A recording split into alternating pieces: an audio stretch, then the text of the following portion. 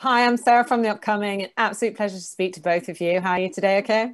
Great. How are you doing, Sarah? I'm great, thank you. So I came to Fresh completely naively, which I suppose maybe is how you really intended this film, and was really lulled into a false sense of security, thinking I was on solid ground, um, contemporary, you know, dating in the contemporary era. And then after the first act, really was hit by a train. Um, so starting with you, Mimi, what journey did you want to take audiences on with this film and why?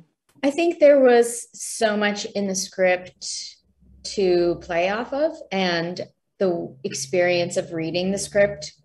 I had those similar moments of feeling like completely like wait what what just what did i just read? What just happened?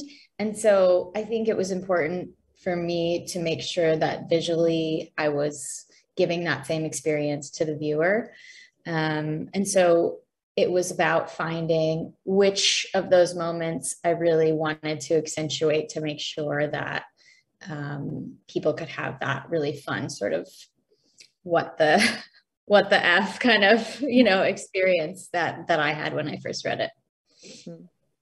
And for you jojo i mean i think at the heart of this film of course we have lots of tropes kind of upended from from romantic films but also from horror but at the heart of it there's a lot in there about the strength of women and, and of female friendships. Um, so what attracted you to the role of Molly and, and what role do you think um, that the female friendship has in the film? Well, I loved uh, Molly's character. I thought she was a great balance of being able to stretch my acting abilities in terms of doing comedy and doing, you know, action and, um, you know, showing all the range of emotions and things of that nature. Um, also, I completely understand friendship between women. I have a large group of friends from college that I'm still very close with to this day. And then I have my best friend I also met from in college, but she's outside of the group of girlfriends. So it's like I completely understand Molly and Noa's uh, dynamic and their um, the the the deepness in their platonic relationship um, and how important it is. So I just I love Molly. I read the script and the same as Mimi, I thought, wow, this is crazy. Um, and I would love to be a part of it. And Mimi, can you talk a bit about how you decided on your cast? I mean, obviously everyone was blown away by Daisy's performance, particularly in Normal People.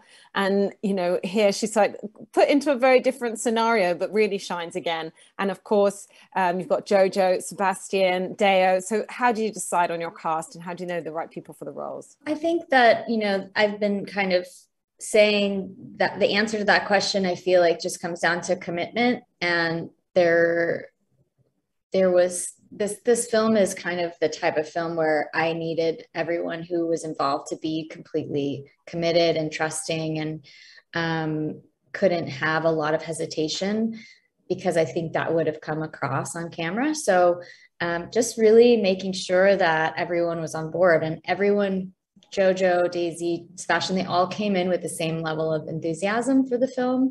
And so I think that's really what made those performances so good was really just their own sort of like volition and intention around each role.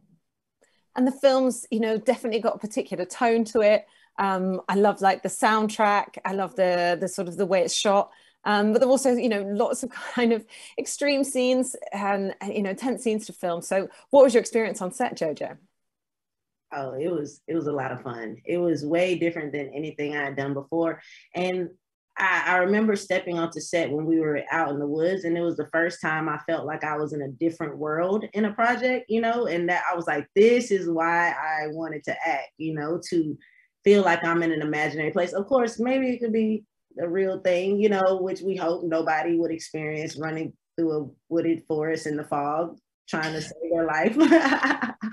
but um you know, it, it felt surreal to me. And so that was so fun. And then being able to do action and, you know, Sebastian is a pro, you know, he, he's been trained by Marvel. and so he's literally a superhero.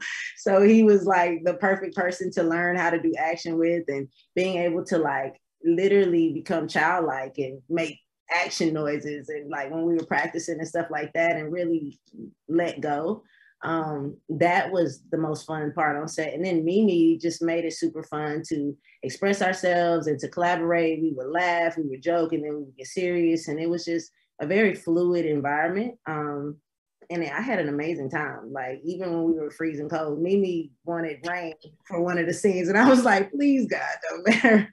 Get these rain machines." I hope they don't approve. Um, I don't know what happened with that, but thankfully we didn't have to. and, and me, sorry yeah mimi you do you do have this incredible tone to the film. I love you know the, the, the soundtrack. I love the you know the fact that it's completely subverting expectations. So what do you hope people will take away from watching it in that sense? And obviously it goes to extremes um, but you know what is there to be said about the everyday experiences women have and and kind of the threats that they're under? I think it's just a um, a hope of taking away a level of awareness maybe that w- wasn't there for i mean i think all women have that but um, certainly men and it's it's really not their fault but just men that they don't live in a woman's head every day. So i think it's a nice way to sort of start a conversation with people in your life about you know making sure that you are safe and that you are taking precautions when you are in situations where you're with people you don't know um, just because you know we care about each other and want to take care of each other. But i think in terms of an experience of a film you know I, I just want people to to feel something at the end of the day and really have have those kind of like hit by a truck moments. Because i think um, ultimately that's as artists what we want for anyone, even if I was a painter or whatever. It's just like eliciting um, some emotion, you know, and that's that's all we can ask for. Thank you so much for sharing all that with me, and I can't wait for everyone else to see this incredible film. Thanks so much. Thank you. Lovely to speak to you. Thank you. Bye.